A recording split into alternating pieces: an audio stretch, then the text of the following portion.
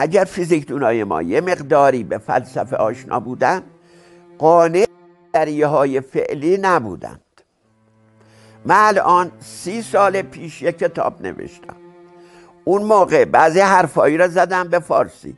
تحلیلی از دیدگاه های فلسفی فیزیکدانان معاصر. بعد خلاصه اینم توی فصلی توی کتاب انگلیسی From Physics to Metaphysics چاپ کردم. اگه بدونید چه تعریفی یه فیزیکدان تراز اول آمریکایی از این کتاب من می‌کنه.